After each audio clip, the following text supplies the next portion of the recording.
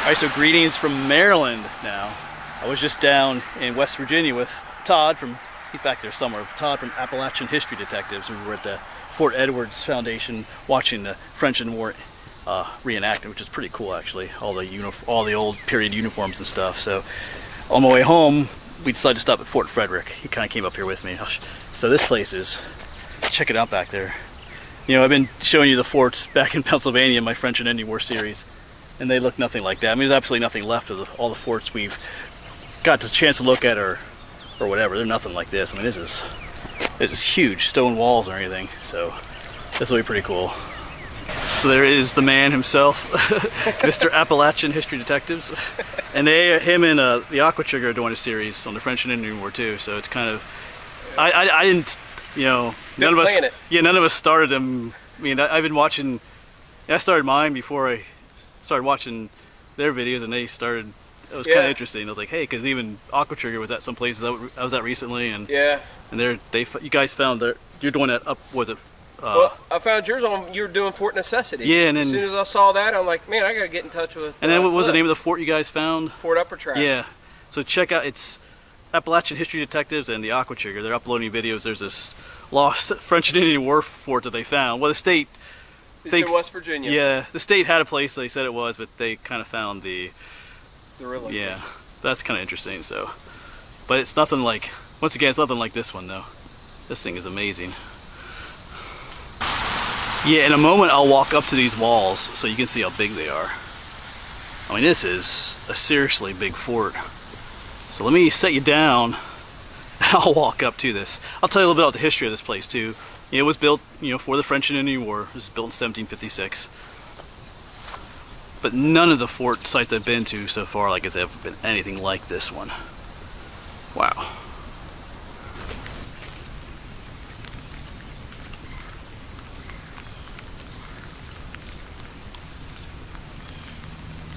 Yes, that's how big, that's how big these walls are.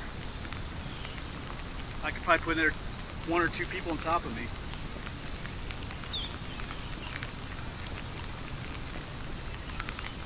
Yeah, so that should give you some perspective as to how tall these walls are.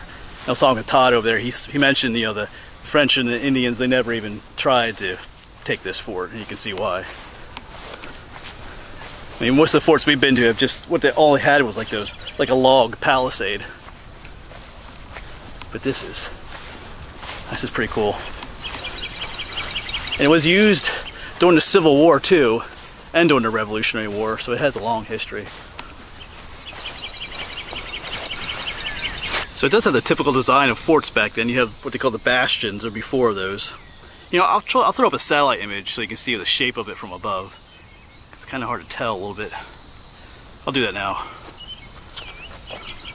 Oh yeah, oh, hold on a second. There you can see the other bastion down that way. I think a lot of times they had cannons mounted up there.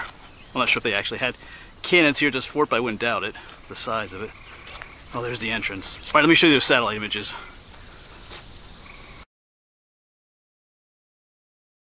But you can see the advantages of having this huge stone wall to surround your fort. Because you know, recently, recently we were at Fort Necessity, and you saw those, that log palisade wall. You know, it's just, man, I'd much rather have this. All right, let's get inside. Todd's already in there.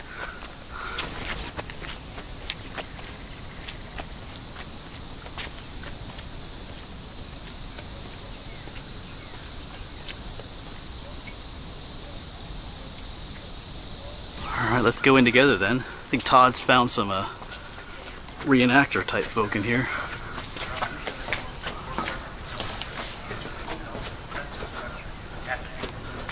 Of course, these buildings are reconstructed.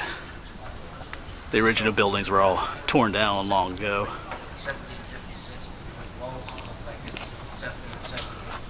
Wow. These would be like the barracks for the soldiers. Oh yeah, there's a cannon over there. Let's check that out.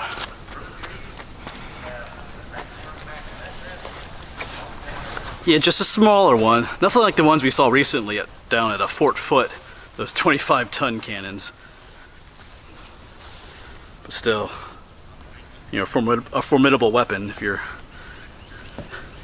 if it's facing you and you're in its line of fire. Yep, there's Todd talking to some folks. It looks like we can go in these buildings too.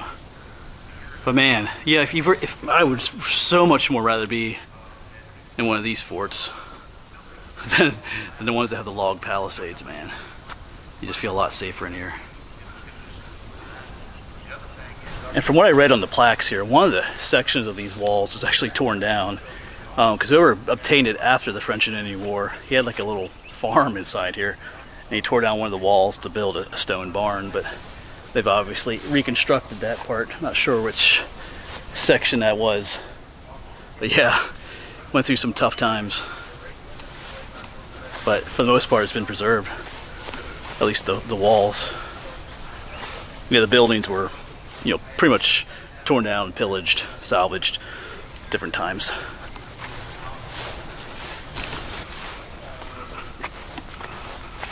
It's amazing that something like this was this far west of the frontier at that early period. Well, the originally, originally wanted to be even farther west. The original plan for Fort Frederick was, was going to be built at a place called Old Town. But um, in the day when they were thinking of building Fort Frederick, um, they weren't sure that uh, because Maryland, Virginia, and Pennsylvania all spent as much time fighting each other for where boundaries were going to be as they did the French and Indians. So when they were getting ready to build Fort Frederick, they weren't entirely sure that Old Town wasn't part of Virginia. So then they go, well, we got another spot, and it's where the Potomac comes down like this and goes that way. We'll set Fort Frederick there, and that's where we're, we're here in what today is Big Pool. Uh, All right, so we're going to walk around a little bit, take a look at some of these buildings. It's like a giant farmhouse. Let's get the officer's kitchen. Can pause and read that if you want, but man, they, they got it all set up in here. It's pretty cool. Fireplace. Fake food. Yeah, it reminds me a lot when I filmed Hopewell Furnace historic site. And They had uh, all the buildings with that were set up like it was back then. They had, they had plates full of like that fake plastic food too. It looks realistic though, but pretty cool in there. Let's go upstairs. All right, we'll go up. sounds like they're gonna do a, a firing demonstration soon too.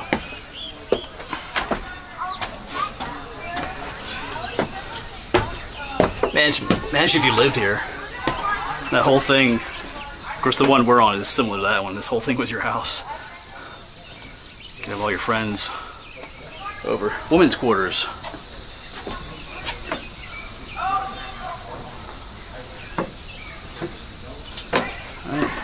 Beds.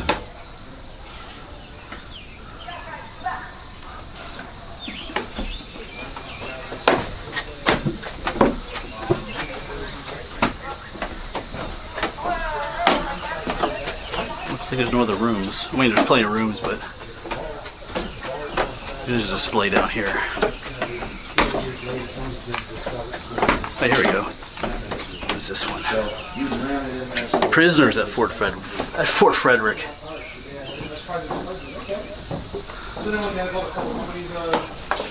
Oh wow, it's like a giant. Oh, I almost thought there was someone in there. It's just a fake dude.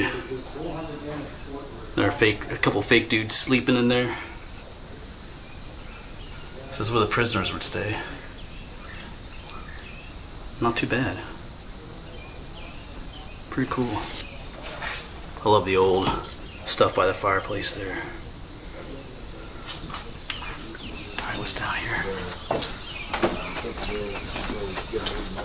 Fort Frederick POW camp. Like I said, uh, as always, you can pause and read more of that if you want. So it's the same room though. There's that fake. It's kind of creepy looking. So I'm going to face that wall over there. I'm going to pretend I see a French soldier who's about to fire at me, but he's in the middle of reloading. I've already reloaded, so I'm about to say, make ready. I'm to put my gun at full cock. I'm going to bring my hammer stall down, and I'm going to say, present. And then the last command is, fire. Ooh.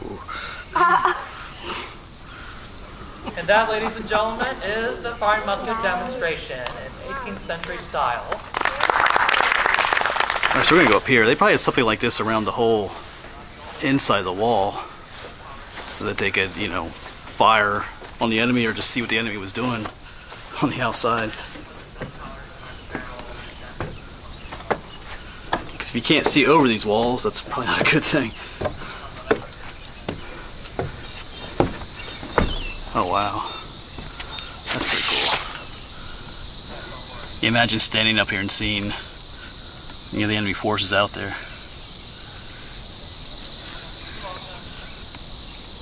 You guys have a nice day.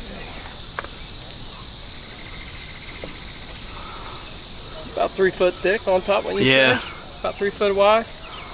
Close to it. Feels safe.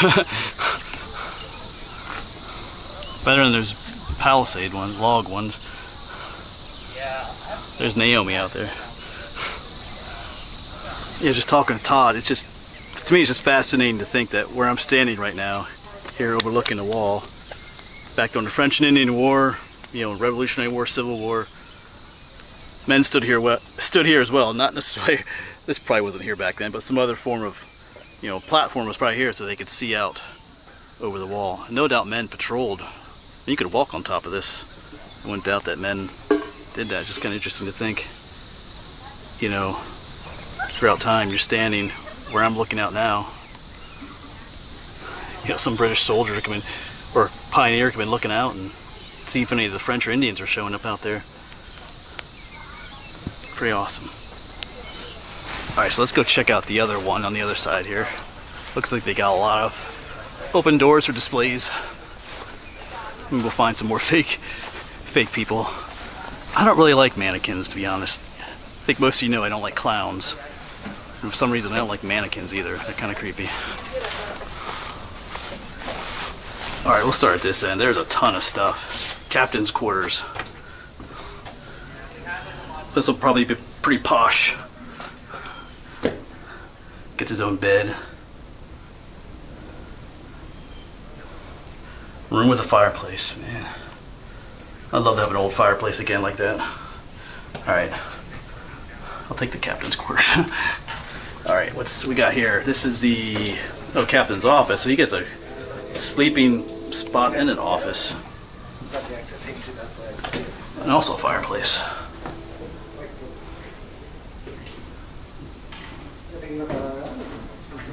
Right, pretty cool. What we got here? Junior officers' quarters. Probably have to share. No, he gets his own bed too.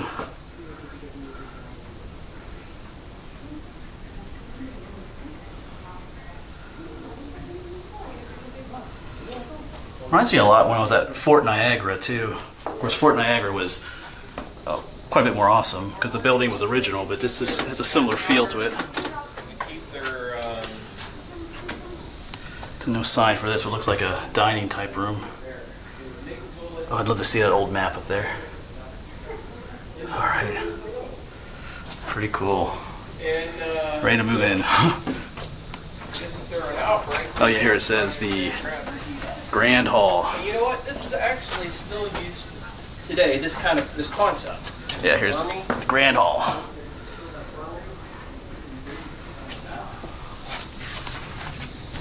Yeah, this one doesn't have a name to it either.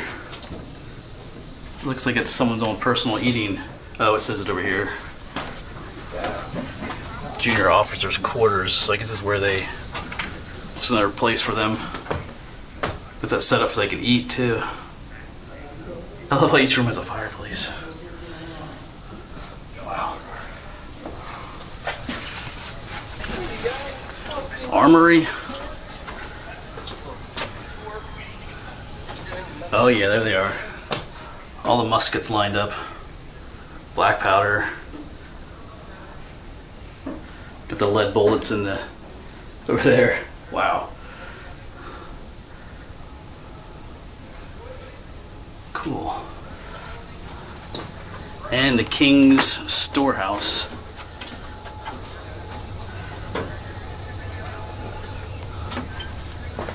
Maybe some whiskey barrels back there. Oh, you can see the original.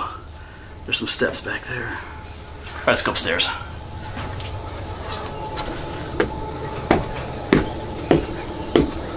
There's the well. Not sure if that's original or not.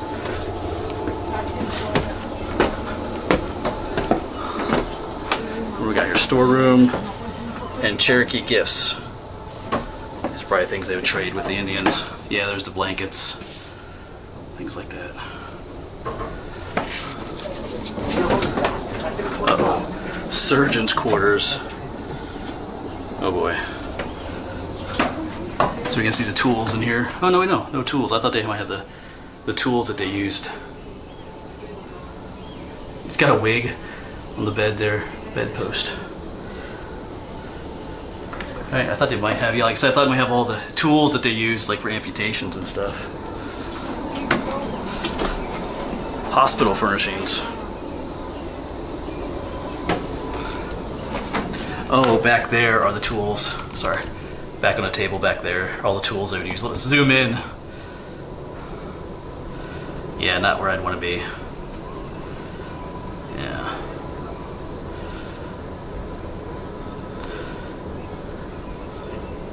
Beds don't look too comfortable either. Alright, not my favorite room. Yeah, I think this just looks into the same room here from a different angle. I think I think one of the French when the French got in, they're not guarding the they're not guarding the gate well enough. So that's Todd down there. Yes, if you get a chance to visit this place, by all means do so. It's pretty cool. This is a Saturday. This is June 19th, so there were the, several of those reenactors here. One, the one guy is very knowledgeable, and there's the other guy that did the uh, firing demonstration, which is pretty cool. I know we just saw a bunch of that in a previous video at Fort Edwards with a little battle, but this was much more up close. You could feel and smell the gun going off, or the musket. So that's pretty cool. Yeah. Awesome place. All right, so once again, that'll be it. Back there's Todd again. So remember to check out his channel, Appalachian History, History Detectives. And like I said, like I said, they're putting out those videos now of the, the fort they found, yep. Fort Upper Tract, which are pretty cool. So him and Aqua Trigger. So make sure he's in the frame. So go check their stuff out. As always, thanks for coming along, and uh, see you next video.